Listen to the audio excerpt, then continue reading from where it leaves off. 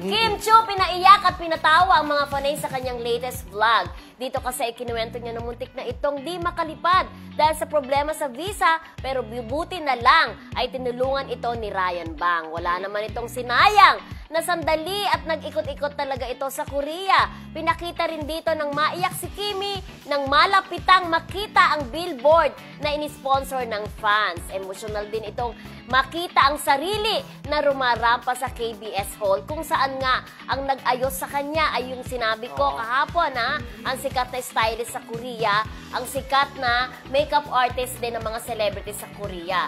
Tanong ng Kim Pao fans, when na ba kaya ang vlog nila ni Paulo Avelino? Ayun. Ayan. Di Yung ba? sa Kasi vlog ito na niya. nga, ito yung medyo matagal-tagal, sobrang busy kasi siya bago nasundan yung kanyang last vlog.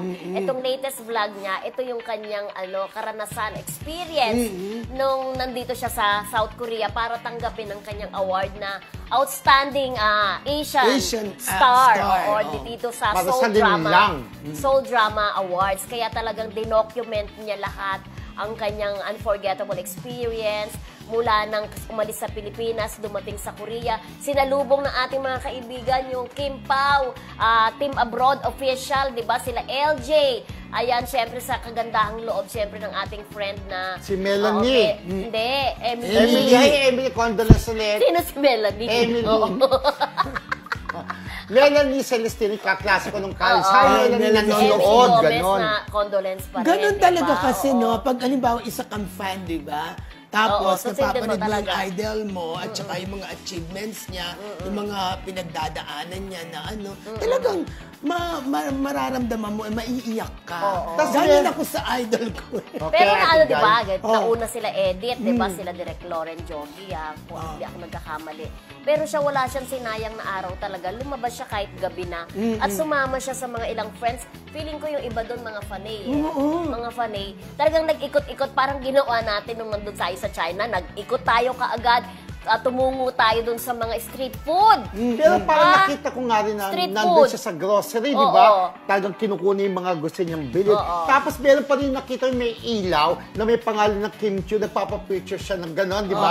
Oo. Kasi, niya yun. may mga nakaka-recognize. Siyempre naman, kahit naman saan sulok ng mundo, may Pilipino naman Yes, talaga, at di ba? pinapalabas yung mga Oo. shows natin abroad, di ba? Kada may makakita at makarecognize sa kanya, nagpapapicture talaga siya. At talagang binibigyan niya ng ano, ng time. Ganon siya magpahalaga sa mga tao na sumusuporta sa kanya. Kaya love na love Oo. natin si Kaya dun sa puntong yon, sa puntong yon ay napasaya niya ang kanyang mga fans. Sa point Yes. naman na napaiyak niya nung rumampa na siya sa KBS Hall.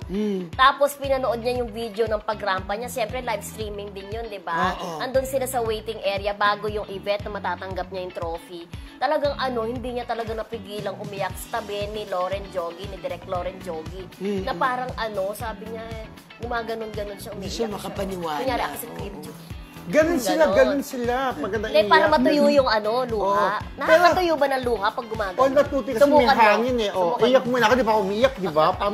Pero yun nga, lahat yun nakablog, Oo, documented. Wala yung pag sa pagdating doon. At yung pa-picture-picture niya sa mga Korean actors, sa mga Malaysian actors na hindi talaga siya makapaniwala na eto pinapanood ko, kasama ko na. Yes. At the same time, sila rin naman, nagpapapicture kay Kim Chiu, di ba? In fairness naman kay Kim Chiu, dahil kilala rin siya doon dahil nga, ay, award dito, dito. Siyempre, sikat to ng artista At sa nagandahan siya, ha? Pilipinas. di ba? Nagandahan sila kay Kim, lalo na yung isang actress, no? Hindi ko lang matandaan ang pangalan kasi mahina talaga ako sa mga Korean names. Kim diba? Ji-sing. Hindi. Kung mahina ka, ano pa kami ni ano, ni Basta- Anong Kim Ji-sing?